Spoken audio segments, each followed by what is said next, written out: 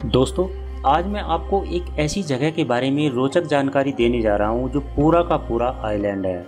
यहाँ का नज़ारा आपको चकित कर देगा। दोस्तों, ये आज एक बड़े देश का राज्य है, लेकिन कभी ये एक देश हुआ करता था। ये दुनिया के सुपर पावर देश का सबसे नया राज्य है। एक ऐसा राज्य है जहाँ आपको सबसे ज़्यादा जानवर देखने को मिलेंगे। यहाँ पर सबसे ज़्यादा पार्टी करने वाले लोग रहते हैं। कहा जाता है कि जो अमेरिका आता है, वो यहाँ का नज़ारा देखने के लिए एक बार ज़रूर आता है।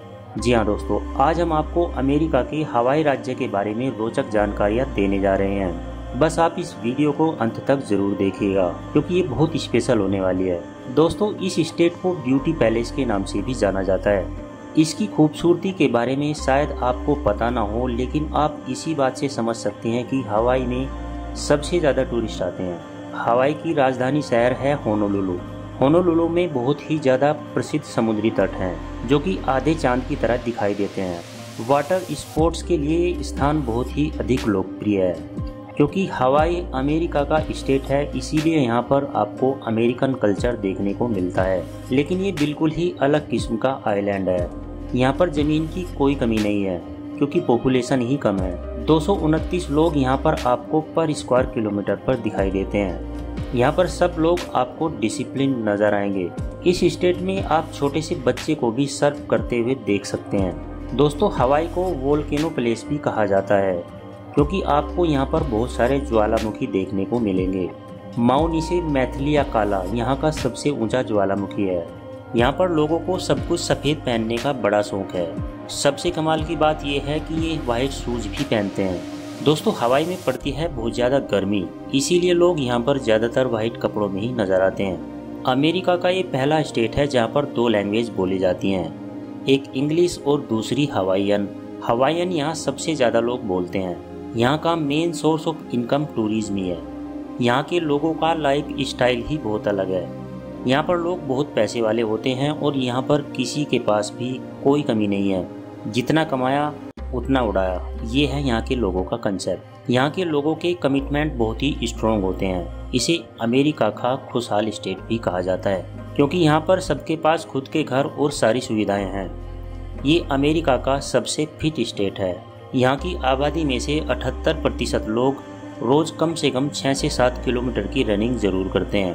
पूरे अमेरिका में सबसे ज़्यादा कोकोनट का उत्पादन भी इसी स्टेट में होता है। यहाँ से नारियल एक्सपोर्ट भी किए जाते हैं। दोस्तों, अमूमन पूरे अमेरिका में कोई किसी के गले नहीं मिलता। लेकिन हवाई एकमात्र ऐसी जगह है जहाँ लोग गले मिलना पसंद करते हैं। यहाँ के लोगों को सबसे ज़्यादा सोशल कहा जाता है। यहाँ के लोगों की एक बढ़िया परंपरा ये है कि यहाँ के लोग किसी के घर में भी चप्पल या जूते पहनकर एंट्री नहीं करते। दोस्तों, हवाई आइलैंड पर आपको तरह तरह के फ्लावर्स देखने को मिल जाएँगे।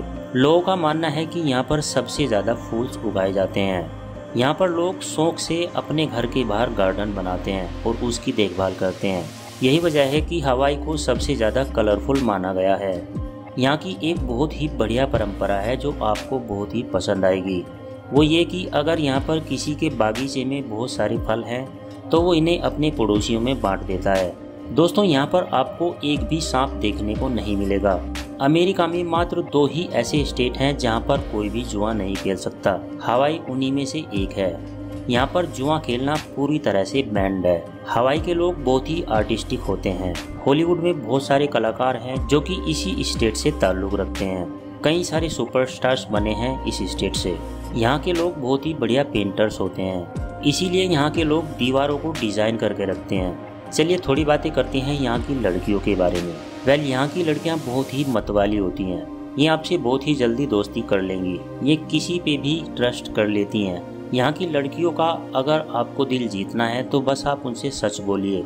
यही वो रास्ता है जिससे आप अपने रिलेशन को आगे भी कायम रख सकते हैं। हवाई घूमने जाना अमेरिका के बाकी स्टेट्स के मुकाबले सस्ता है। तभी तो यहाँ पर इतनी बड़ी संख्या में लोग घूमने के लिए आते हैं। दोस्तों, उम्मीद करता हूँ आज की ये वीडियो आपको अच्छी लगी होगी।